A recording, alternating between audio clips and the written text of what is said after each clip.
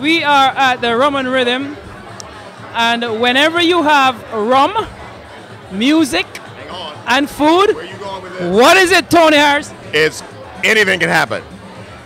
You. It's definitely Caribbean time. Ah, there you go, there you go. Our special guest, of course, Tony Harris, former CNN. You were terrific today.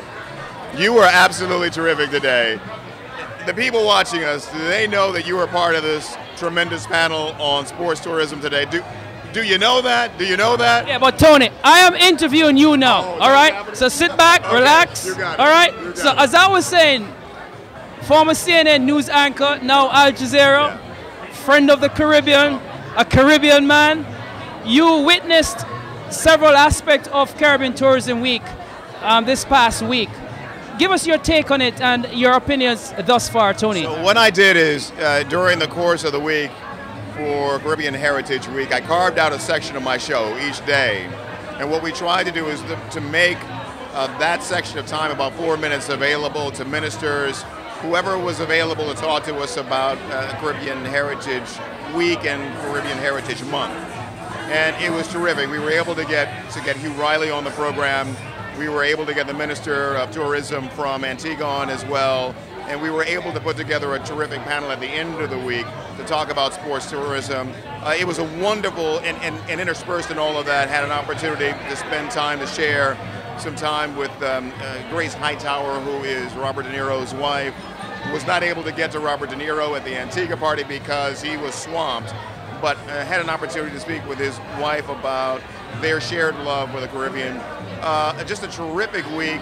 Uh, I was so happy to be a part of it and was so happy to be a part of it uh, through the company we formed, Emerge Media, uh, to bring together a, a, a panel, a dynamic panel, of which you were a rock star to talk about the real potential of sports tourism as a driver of tourism for the Caribbean.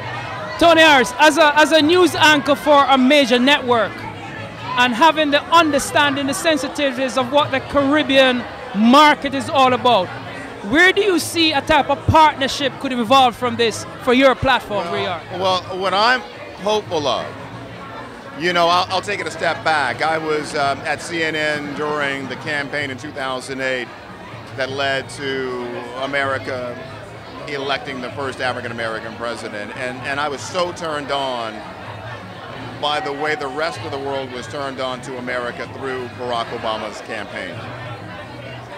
And I've got to tell you, I, I have seen myself uh, as sort of a, a, a bridging agent. All I have always wanted to be is, is kind of that conduit. You know, poor kid growing up in Baltimore, able to perform on some of the biggest platforms, you know, in media, uh, whether it's Fox, whether it's CNN and Turner Broadcasting, whether it's Entertainment Tonight and Paramount at the time.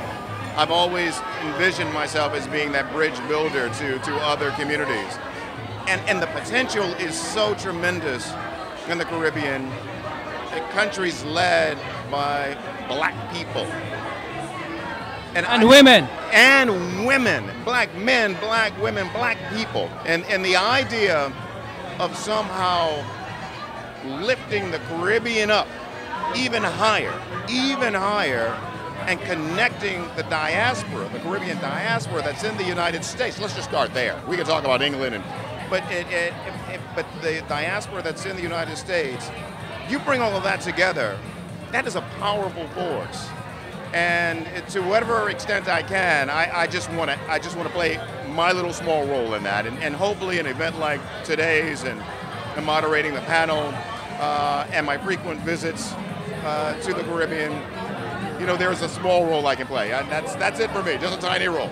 Well, I want to say on behalf of the Caribbean diaspora that we, we are now bestowing on you honorary citizenship of the Caribbean. We thank you for your services and we know you'll continue to be a great ambassador on our behalf. Well, I I can't tell you. I, I, one one final story.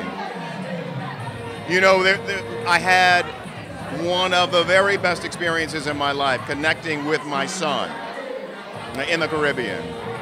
So, if for no other reason that I was able to, at a difficult time for me and my family personally, I was able to get away to the Caribbean and connect with my son in a really meaningful way. Uh, the Caribbean will always be a very special place.